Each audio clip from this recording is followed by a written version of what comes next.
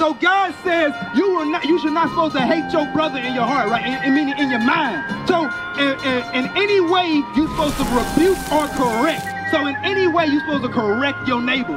So if you're not correcting your neighbor, you hate him. If you not, if you see your brother stealing something, you don't tell him, "Hey, you're not supposed to be stealing." You hate him. That's what that means. Read it again. Thou shalt not hate thy brother in thine heart. Thou shalt in any wise rebuke thy neighbor and upon him.